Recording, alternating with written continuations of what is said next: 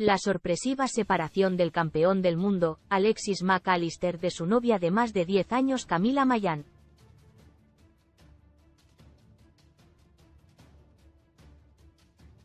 Lo cierto es que si bien la separación tuvo sorpresivas repercusiones, lo que más llamó la atención fueron las razones por las cuales el futbolista decidió dar por finalizado el amor y rápidamente se vinculó con su amiga Aileen Kova, quien mantiene una amistad desde su adolescencia.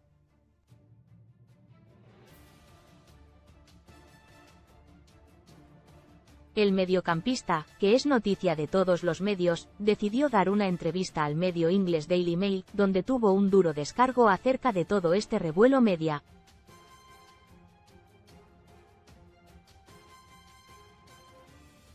Si bien el futbolista no se refirió a Camila, dio un detalle de su separación y cómo se enamoró rápidamente, antes, cuando no jugaba, yo decía ando me importa,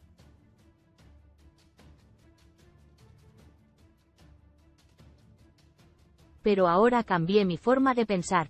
También habló de cómo ganar el Mundial Qatar 2022 le cambió por completo su forma de ver la vida. Mi vida es tan aburrida como siempre, entrenar, volver a casa, sentarse en el sofá, tomar mate y mirar fútbol.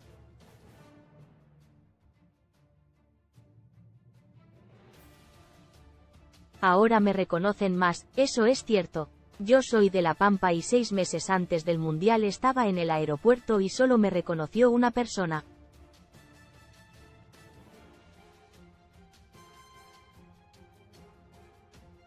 Ese fue un gran cambio en mi vida, haciendo a referencia de las repercusiones que tuvo su nombre después de ganar la Copa del Mundo.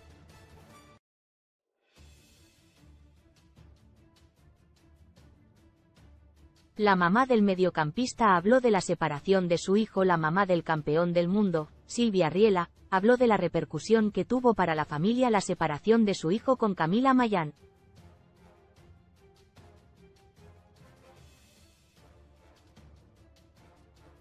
En una entrevista telefónica dijo, él no me dijo que hubo un detonante. Venís a tu país y te encontrás en un contexto diferente.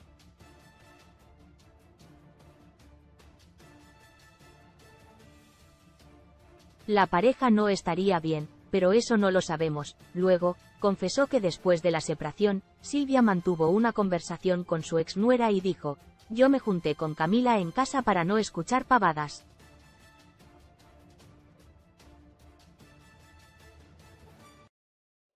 Charlamos y ella estaba mal. Alexis también estaba mal, pero es lo lógico. Para finalizar, agregó, para que Alexis tome esta decisión, él debe haberla tomado por su experiencia propia.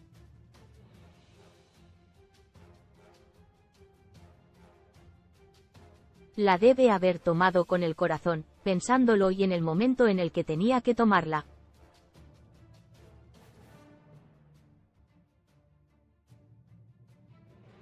Él eligió el momento para decidirlo. Tendrá sus motivos,